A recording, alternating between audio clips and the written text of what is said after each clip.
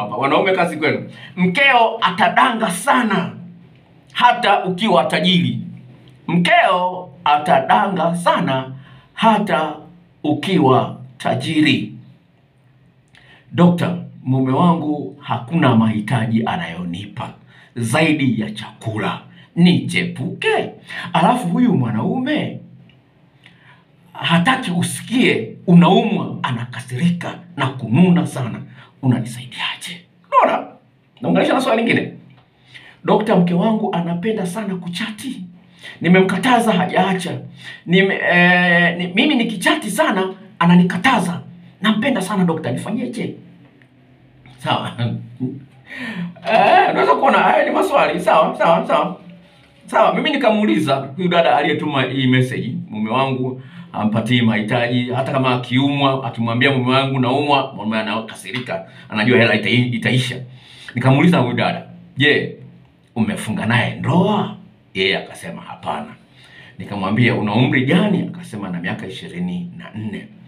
Nikamwambia hivi, mwambie aende kwa wazazi akatoe mahari. Likimshinda hilo, basi hiyo ndoa haipo. Manake mtu ambaye hajali hata afya yako, huyo ni muuaji. Ninachozungumza ni hivi, wanawake wanapenda wapate pesa kutoka kwa wanaume, upende usipende. Kaka mmoja amenitumia message muda mfupi tu kabla sijaingia hapa studio, anasema naomba uwaambie wanawake, mimi kazi yangu nayofanya mshahara ni mdogo, alafu mara nyingi mshahara huo unachelewa kutoka. Mke wangu hanielewi, amekuwa anaruka ukuta, anatembea nje ya ndoa. Naomba nisikilize, naomba nisikilize, naomba nisikilize hapa. Sawa, yeye anaangalia kwamba kwa sababu hasina hela, kwa sababu mshahara wangu ni mdogo, ndio maana mwanamke anachepuka. Naomba nisikilize. Kama ulisikiliza mada kwa makini, ningependa nirudie point hapo kwa faida ya wasikilizaji ambao wananisikiliza uweze kujifunza kitu hapa. Sawa, ni kwamba iwapo huna pesa, muonyeshe mapenzi mke wako katika maeneo mengine. Mwanamke ameumbwa na akili ya kupokea, hata kama akiwa na kazi angependa umemnunulia zawadi, umemletea zawadi nzuri, angependa siku nyingine umesikia mama yake anaumwa, umempa hela bwana, umemtumia mama naye hela hizi akanunue soda. Sawa, mwana- mwanamke ameumbwa na akili ya kupokea, ndio maana ana tundu unaloingizia dudu lako. Sawa?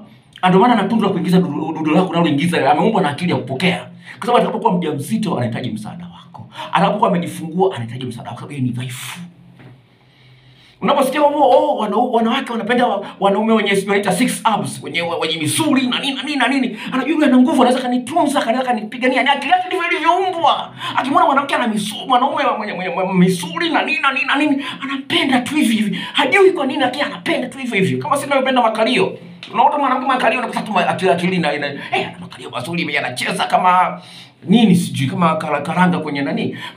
Yani ile akili imeumbwa tukiwa tu makalio mazuri akili- ndivyo akili imeumbwa ndivyo na mwanamke ndio hivyo hivyo ameumbwa taka pesa kutoka kwa mwanaume kwa hiyo basi ili uzimishe hiyo hiyo kiu ya kutaka pesa umwonyeshe mapenzi. Huyu mwanamke hujawahi kumsifia kwamba una makalio madogo una makalio makubwa una miguu mizuri mke wangu una- unajitahidi kufanya usafi hapa nyumbani mke wangu unajua kupika chakula chako kitamu hujawahi kusifia hata mara moja na huko hela huna itakula kwako Tawabika wao anapenda hela anadanga. Amna, atadanga kwa sababu anaona kwamba nafuu nipate hela kuliko na huko na huko hakuna mtu anayenipenda huko ana wao wananiambia wananipenda, wananisifia, wewe unisifii.